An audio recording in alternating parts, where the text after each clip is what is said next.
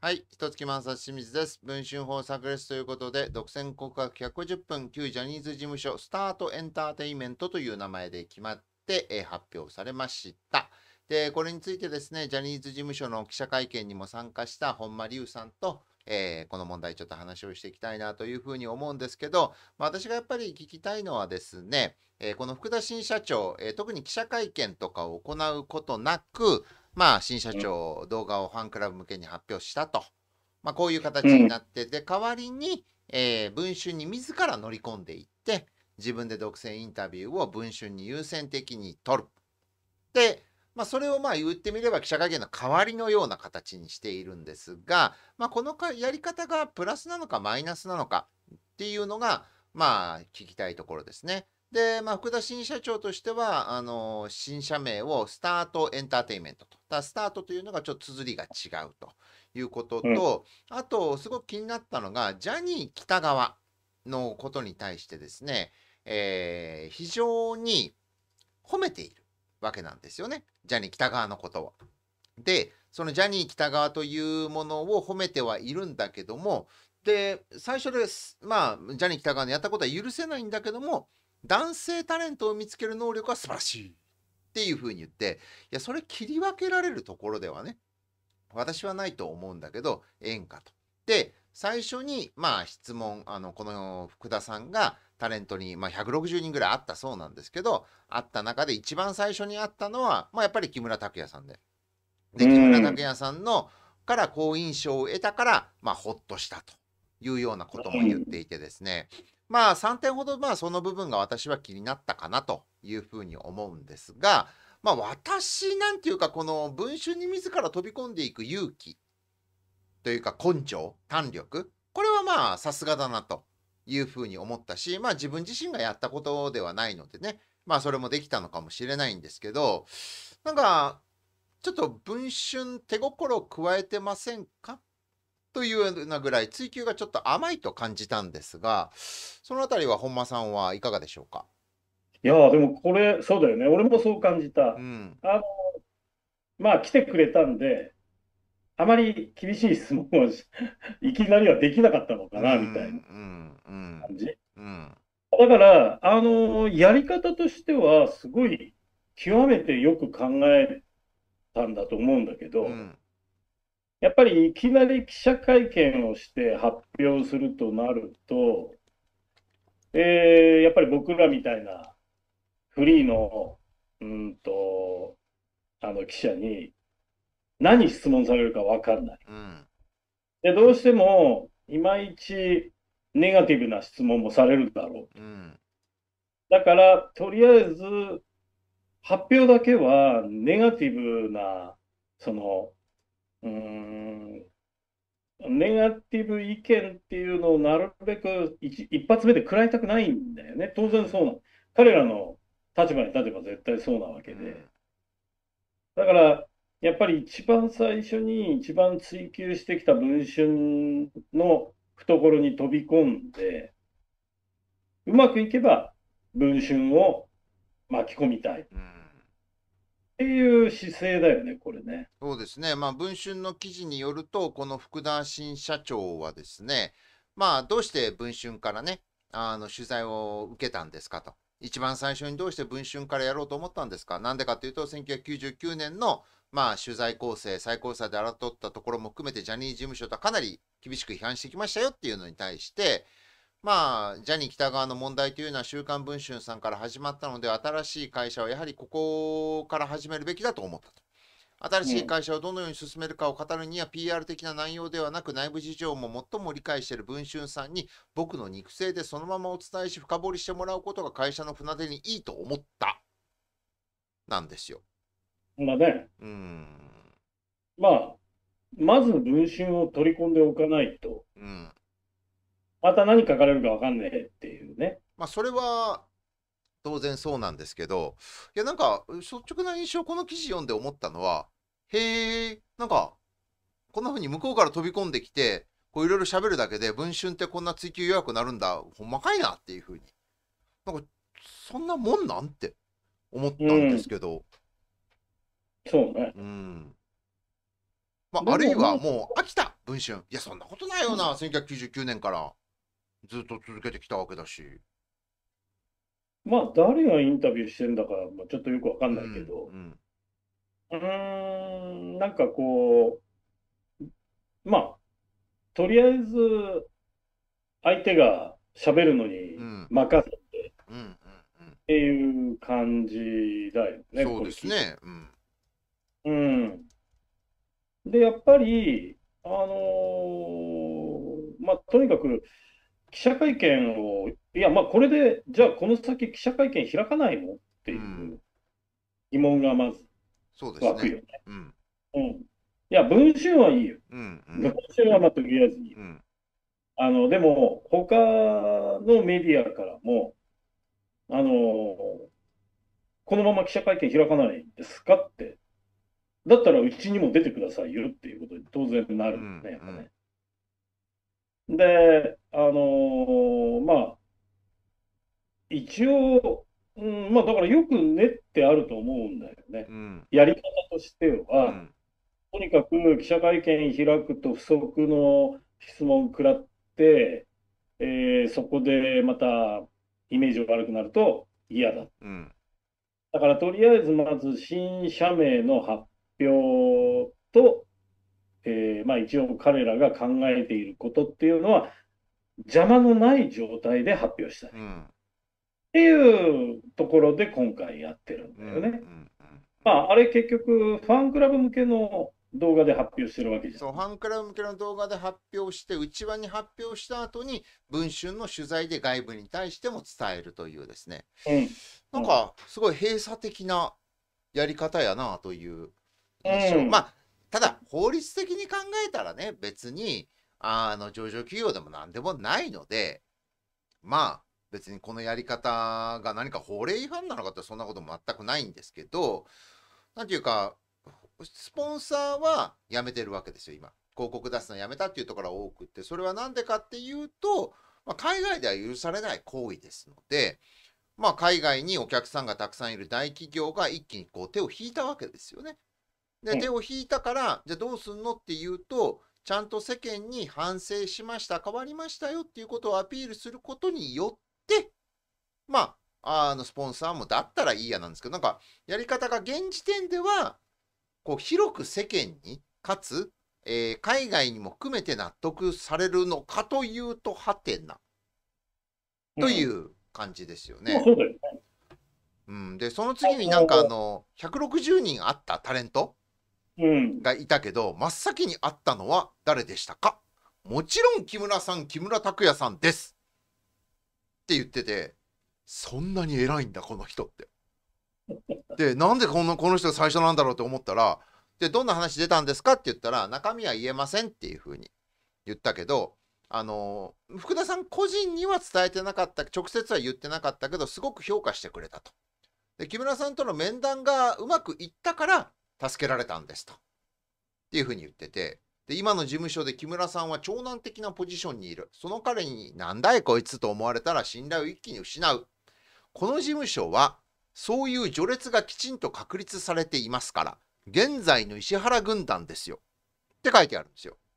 いや、だからそういう体制のせいで、後輩が、まあ、ジャニー喜多川が食われ、えーに食われた人が先輩になった後に後輩に対しても、次お前の番だから、次お前の番だからっていう風に、まあ、どんどんどんどん連鎖していったのであって、その序列は作っ、まあ、どちらかと否定しなければダメなような気はするんだけど、まあ、肯定的に見ればそんないきなり入ってきてバスッとは変えられないから、まあ、まずは、あの、それを認めた上で入っていくのかもしれないけど、なんていうか、それは OK なんだっていうのが、こう、ちょっと思いましたね。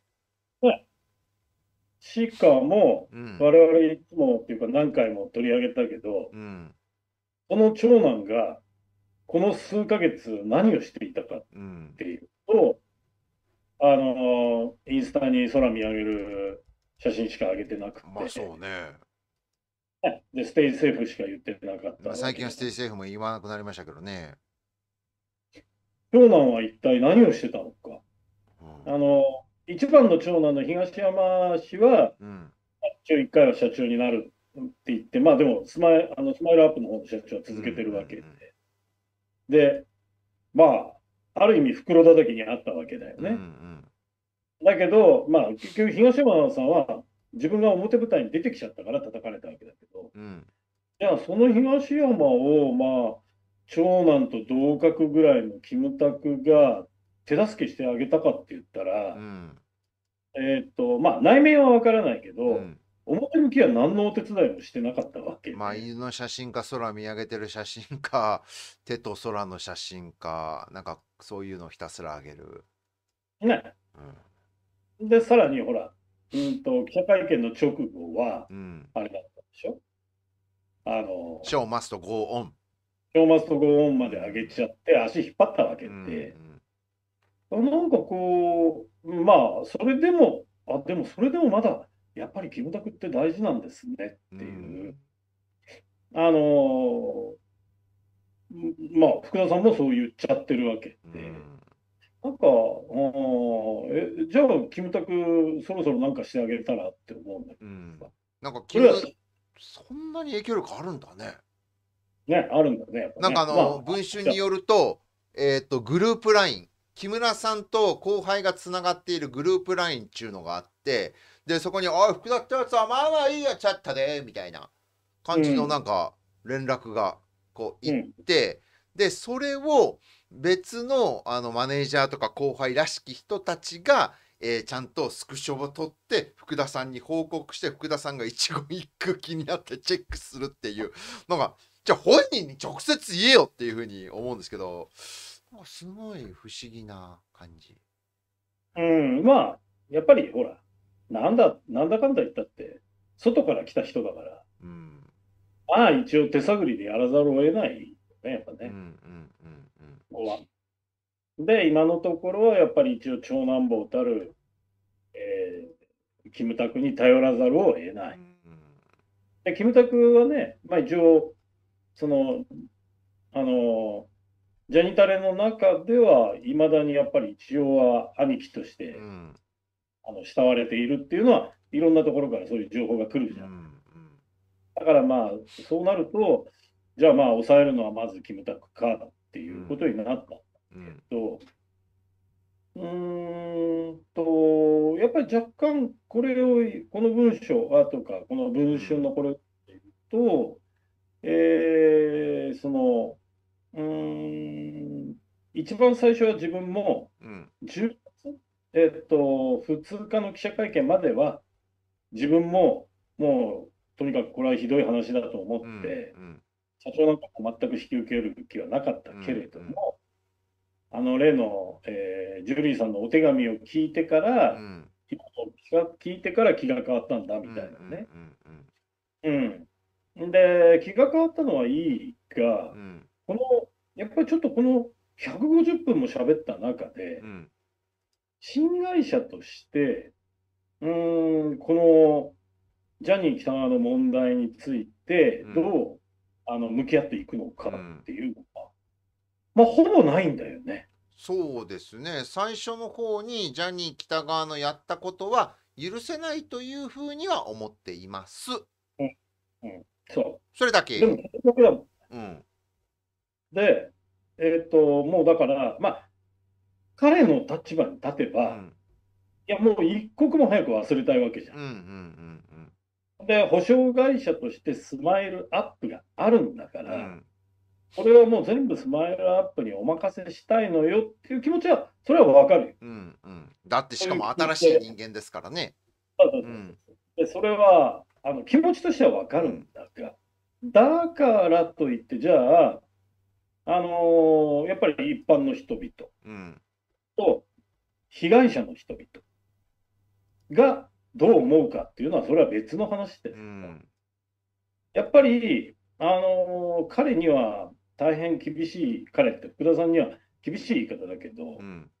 社名を変えて、保証は全部スマイルアップに任せたとしても、うん。でも、やっぱり旧ジャニーズ事務所っていううん。実家を背負ったままなわけじゃない。そうですね。まあ簡単に消えるはずがないわけで。で、あの、当然それは薄めていかなければ、あの、時間が経てば薄まっていくものだけれども、うーん、その、俺がちょっと、えっと思ったのは、やっぱり、そうは言っても、まだ、スマイルアップだってまだ、あの、できてからまだ2ヶ月くらいしか経ってない会社。しかも、まあ、感覚的には、保証はすごく遅れている。はい。いろいろ問題が起きている。うん。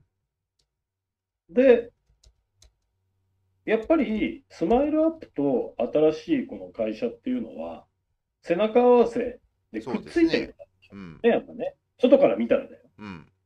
あの、法律的にとかなんとかって言ったらもう別の会社だって言い切れるかもしれないけど、うん感覚的にはやっぱり表裏一体な会社なわけ。うん。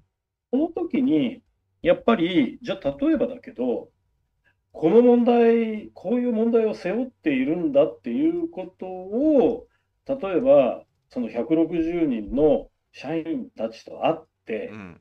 で、そこは、あの、やっぱりこう、心の中に持ち続けながらやっていこうとうんかね、。うん。被害者の方たちに対する、あの、食材の思いっていうのはちゃんと持ち続けていこうと。うん。そういうことの発言が全くないっていうのはう、ん。若干き、あの、え、若干、えーあこんな頭のいい人なのにう、ん。それをここで言ってないのがわざとなのか、うん。それともやっぱりもうそこには触れたくないから、カムフラージュとかほっかむりしておきたいのか、うん。まだちょっとこの福田さんという人がどういう人なのかよ、まだちょっとよくわからない。そうですね。う。うんん。俺はなんかちょっとそこにはなんかこう、何かちょっと、え、うん何か引っかかるものが感じたよね、やっぱね。うん。なんていうか、文春の姿勢も、まあ、なんだろうな、新会社？が、えーまあ、当然ジャニー喜多川の十字架背負っていくことになると思うんだけどもそれに関して何か保証に協力することは考えているんですかとか、うん、なんかまあタレントに対してはどういうふうにこの問題について話し合われたんですかとか。なんかそういう質問がないんだよね。ない。なんかこう、うんわあ、来てくれた福田さんって、どうも、うちにそんな一番にありがとうございます。社名はどうやって決められたんですか一番最初に会ったのは誰なんですかそうなんですか？みたいな。はい？っていう。まあまあ、これがもし、あの、福田さんの作戦なのであれば、すごく、まあ、いいんじゃないっていう気は、うん。まあ、するけどね、ただそれ、これい、ここのタイミングで成功したとしても、で、これ見て、じゃあ、海外のお客さんとか持っている大企業のスポンサーが、ああ、じゃあいいんじゃないまあ、もうええだろ、みたいな。なんの？なるの？っていう。うん。あとやっぱり文春だったら当然さ、うん。いや、記者会見開かないんですか？って一言なんで聞かないの？っていうね。まあでもほら、記者会見開かない代わりに独占的に話これから行くからっていう、そういう握りでもああるあるのかなって、ちょっとなんか、んって思っちゃうよね、これ。そううん。だから少しなんか違和感を感じるんだよね。うん。なんかもう、福田さん、新社長になって、いや、もうこう、いろいろやりたいんです。3つ目標があるんです。デジタルトランスフォーメーションやって、うん。メメタバースにも進出しうて、ん。とか、いろいろご自分のさ、うん。夢を披露されてねう。ん。うん。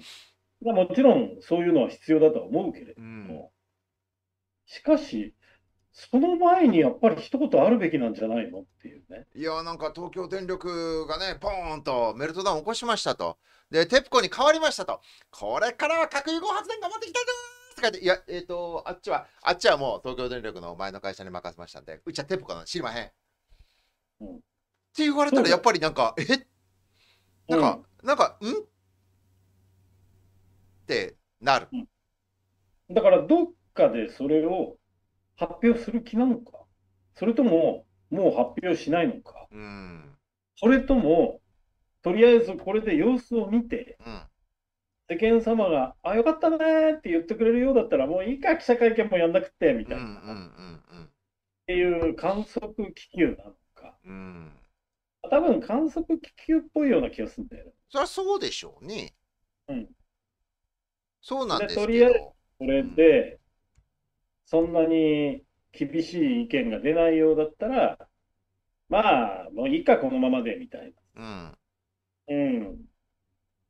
だけど、どう、まあ多分ね、あの、この問題を深くいろいろ追求してきたような人たちは、うん。この文春のこの150時、150時間じゃない、150分。うん、の記録っていうのを見ると、多分さ、探しちゃうと思う。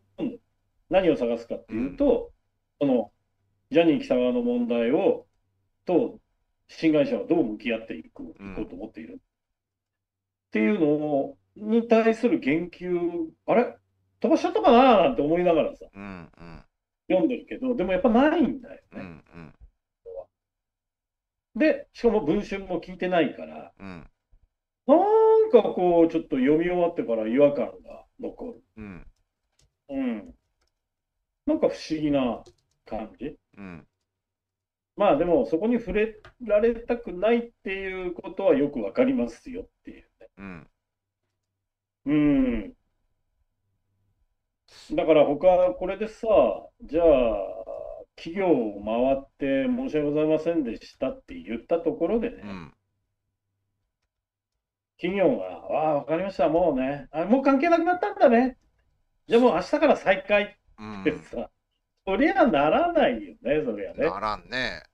ならない。うん、まあ、どんなに早くても、企業もほら、年度で動いてるから、うん、来年の4月以降からどうするか。うん、で、テレビ局も、もう来年の4月からの新番組ってなると、実はもう、えー今月、来月ぐらいで大体決めるんだよ、うん、時間枠。で、スポンサー枠も、もう1月ぐらいには決まっちゃうんですうん、うよ。ん、あの、来年4月からの番組っていうの。だから、若干ちょっと時間的には間に合わないんじゃないかなっていうね、あの、気がするんだけど、あちょっと、うん、若干違和感ある。ねっていうか、言えばよかったのにって。いや、ジャニー喜多川の問題は背負っていくしかないと。うん、で、タレントたちともそれで、あの、そのことを忘れないで、うん、で、そういう、だってほら、その、なんだっけ、人権宣言とかまでしちゃってるじゃん、なんか。人権宣言？うん、なんか人権を、ああ、なんかなん言うてたね。うん、うん、かあるよね。うん、うん。つまりほら、そういう閉鎖的な部分はなくしていこうとか。なんか人権派の弁護士を入れたっていうふうに言ってますね。うん、あとね、なんかね、人権なんとかっていうのをなんか、やったみたいよ。どっかに。まあ、ちなみにあの私ホームページ見て、まあ、今回の報道も見て、一番突っ込みたかったのは新社名です。うん新社名はこうスタートエンターテイメントって言うんですよ。これうん新社名、新会社のホームページなんですけど、えーここにも書いてありますが意味はスタート未来へ向かう。うん。えーそれがですねどういう意味かというと、まあ、要するにスタートエンターテインメントなんですね。いやこれダジャレってダジャレかよって。かもな。おおいやスタースタート未来へ向かうスタートエンターテインメントですエンターテインメントをスタートさせていくスタートともにスタートエンターテインメント。うんはあ。うんまあ、あの、ファンクラブ、いまだについてきてくれる人たちへのリップサービスがうん、非常に濃い。そうですね。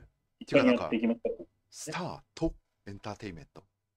でしかも、あと、新会社に関して応募があったのは14万人、14万156件って書いてて、なんか意外とアクティブユーザー少ねえんだなっていうふうに 思いました。うん。うんまあ、熱烈なファンってこんなもんなんやなって。そうだな。まあ、1000、登録はね、1200万とかうんうんあるけど、うんうんあでもそんなもんなのかもしれない。そんなもんなんやろうな。うん。まあ、ちゅうわけで、えー本日は、あの、ちょっと緊急で、えー動画を撮ったので、アップが遅れるかもしれませんが、えースタートエンターテインメント決まったそうなんですけど、まあ、なんかちょっとこうなんか、えー、すごい文春が若干大本営発表に加担してる感じがしてですね。なんかえここれで終わり？これでおしまい？え何？これからの福田先生のあの次回作にご期待くださいジャニーズではなくスタートエンターテインメントの戦いはこれからだ終わり第一部まあ、そうは済まないと思うけどさ。うんうん。まあ、ちゅうわけで、ちょっと続きを見ていきたいなというふうに思います。なわけで、今日も読書、チャンネル登録といいねよろしく。じゃあね。はい、今日もありがとうございます。電通と戦う本間龍さんはですね、えー、なかなかメディア、ラジオ、いろんなところに呼ばれないんですね。で、本も広告がされません。皆様のカンパがないと続けていくことができません。今日も読書と本間さんと言いたいので、ぜひ本間さんの本を買ったり、カンパよろしくお願いします。現金もクレジットカードもどっちも対応します。よろしく。今日も読書。それでは。